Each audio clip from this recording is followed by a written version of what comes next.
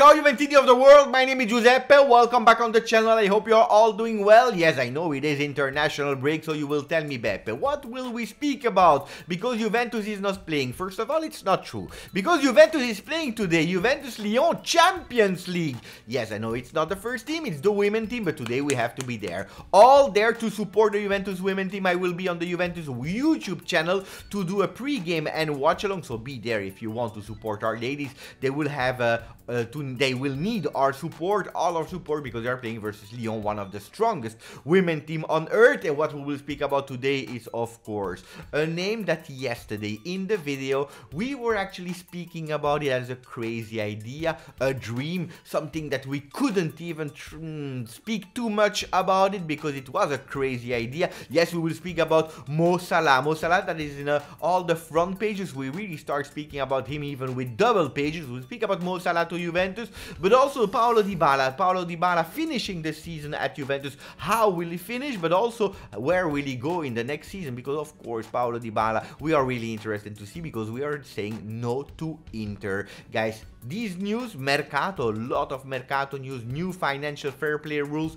all these things in the video. After that, you subscribe to the channel, maximum of like, notification ring on. If you did one, two, three, after the intro, we start.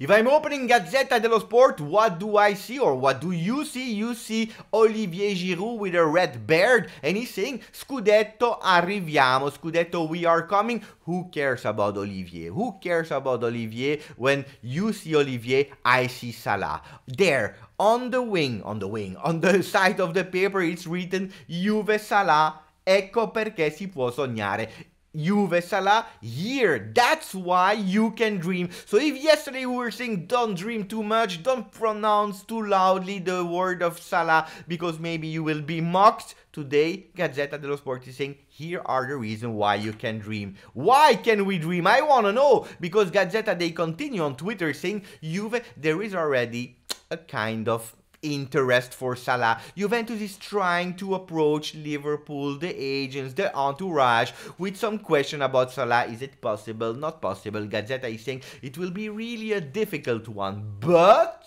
but, but, what but? One Football is also reporting the news. I told you everyone is speaking about Salah.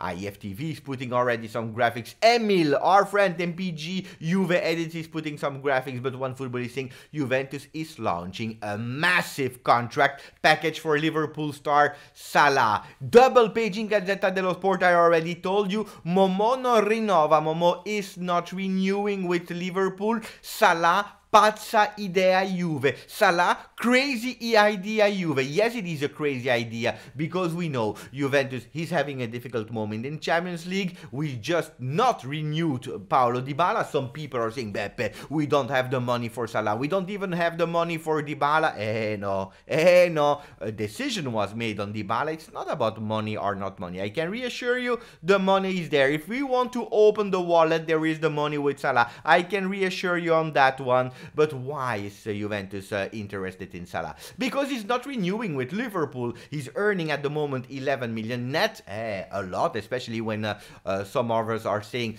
Vlahovic 7.5 million is the max contract together with De Ligt of Juventus. We don't want to go over that. Eh, if we go for Salah, guys, we will have to go over it. And there is a possibility, especially with the legislation rules, the tax rules in Italy, there is a possibility. Reds that try to negotiate with Salah that he's having having his most productive season in terms of goals at Liverpool, eh, guys, uh, they are further away. Further away, la Juventus prova il super colpo. Juventus is trying the super, super, super, boom, boom, boom player, and they are trying really. And then people will tell me, Beppe, it's not possible. Stop dreaming. Remember the last time Cristiano Ronaldo, everyone was saying, it's not possible, Cristiano Ronaldo. Cristiano Ronaldo came a year before, two years before. It's not possible, Higuain. Higuain came. It's not plausible Vlahovic in the winter. Vlahovic was there, and Vlahovic was reported by who? By Gazzetta dello Sport. And if they are going with a double page, guys, I tell you, pay attention. Pay attention. The chances are small. It will be really difficult, but why not? Why not? Don't eh, don't be don't be sad. If it doesn't happen, at least Juventus tried, and that's what you have to keep in mind. Juventus is trying for players like Joao Felix, the name was reported, like uh, Mohamed Salah. Juventus is going for top, top, top players. Who will arrive? I don't know, but Juventus is trying. No all'Inter, no and uh, Tuttosport is going with uh, Paulo Dybala again for the second consecutive day with an Inter shirt. And the supporters are saying, no, no Dybala. Go wherever you want. You can go wherever you want. We will still back you up, but not at Inter. Please, please, not at Inter. 69.5% of the supporters of Juve, or at least the one that voted on Tuttosport, said no, please, to Dybala. Don't, don't be like that. Don't be like that. Think about Nedved that say no. Think about all the players that say no before the love of Juve. I know Juve they were not 100% correct with you, but don't go to Inter. Eh, let me know, guys. What about uh, Paulo Dybala to Inter? Because uh, Gazzetta dello Sport, another double page with Dybala. Inter Dybala, la strada è questa. Inter Dybala, that's the way. That's the way because uh, Inter wants to change their front. They want to change the attack. Lautaro, uh, Dzeko, whatever player they really want to, to change. And they're saying that uh, with the winning mentality of Dybala, it history at Juventus, he can be the right man for them. Also Tuttosport with the same words, rivoluzione dell'attacco dell'Inter. They're changing. Revolution in the attack of Inter, showing again Inter, Inter shirt on Dybala. Guys, I start to be really, really tired of seeing and sick of seeing Paulo Dybala in Inter shirt because uh, it is what it is. What about the renewal? A few words. A lot of people, an expert of uh, Juventus, were uh, interviewed yesterday about the choice of Juventus, controversial choice. What about the choice that Juventus Juventus made. Was it correct or not? And uh, I have to admit that uh, most of them were saying Dybala, there were too many doubts. Some, some on the financial side, some on the consistency of play, some on the physical condition, everything that we already spoke in the last days. And also the experts are like that. Uh, they try to put their emotion away and going immediately in that acceptance phase like we spoke yesterday. But Dybala has eight maybe 9, maybe 10 games to go before leaving Juventus. How will he do it? That was my biggest question mark. Will he be on the bench uh, trying to avoid uh, another injury or will he go at max? Apparently, uh, uh, he's angry. He's any angry. He's sad, but he wants to show on the field that Juventus will regretting. I would be really happy to have a really Grinta-esque uh, Dybala that wants to show on the field that uh, he can give the best because that means that if he's doing his best, Juventus will benefit it until the end of the season. And we will need it if we want to go maybe for the dream, another dream after Salah, maybe the dream of the Scudetto. Juventus Lyon, I told you, this evening, 6.45 p.m. So we start on the uh, Juve, Juve channel at 6.15. Be there, support me, support the women. Uh, there is a, before speaking about the other names of the Mercato, there is another big news that will start really soon. The financial fair play, like we know it, will stop.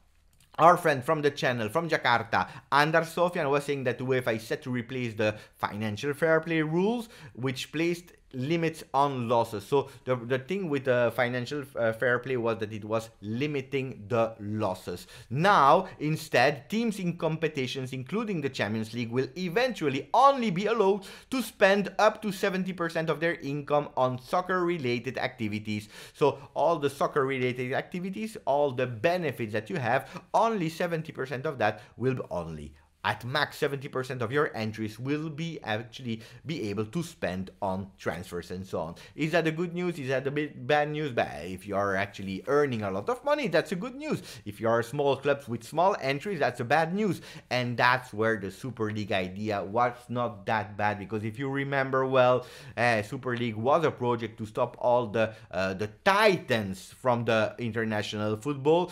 If the Premier League they are winning so many broadcast uh, millions, so many, 10 times more than Serie A. Tell me how on earth it is possible for clubs like Juventus, Inter, Milan, Atalanta, and so on to compete for with the big clubs that will have so many, so many entries regarding to the other ones from Italy, from Bundesliga, Liga, and so on. Really curious to see how it will happen. Super League, the president of uh, uh, Lega Calcio is saying, eh, but at the moment Juventus uh, didn't do anything bad because it's only a project. But if that project is reality, if Super League is created, they will not be able to participate in Serie A. Really strange word from Gravina, we will have to wait on that. I don't know why he's hating, it is what it is. Maybe he should actually focus on growing Serie A instead of thinking about Juventus. And now we continue with the last Mercato news. Boom, boom, boom, guys. Boom, boom, boom. I have a lot of things to do. Zaniolo, stile, Dusan, and then a picture of Nedved. Nedved that said, we are looking for people like Vlahovic and Locatelli that did everything to join Juventus. We want these Juventini, like Zaniolo that since a kid is a real Juventino and that do everything to come to Juve because they want to play for the logo for the shirt. They want to play for Juventus. We want to go for them. We already spoke so much about Zaniolo. He doesn't renew at the moment with Roma. He can be a real Juventus player. Pay attention. Zaniolo is not a replacement for Dybala. Zaniolo is the one that will replace eh, Kulusevski, but also Bernardeschi. We'll speak about the renewals of Bernardeschi in a second. Another name yesterday because we go from Mohamed Salah to Zaniolo, and then we have another name Berardi. Berardi reportedly reunite their interest in Euro 2020 winner. Pay attention to Berardi. Pay attention. Berardi was already half a Juve player years ago. He never wanted to join Juve because he was mentally not ready, because he's an Inter supporter, because he hates Juve. I don't know what. Uh, apparently, Juventus is again on the player for 30 million. Player of 27 years that is doing an amazing season this year. It's a player, I tell you, from all the list of players, I don't want to. What about uh, uh, Berardi? Let me know in the comment. We continue with the last one. I told you about Bernardeschi. Bernardeschi can also be a free agent because uh, it will be really difficult for him to renew. De Sciglio can renew, Cuadrado can renew, even Perin can renew.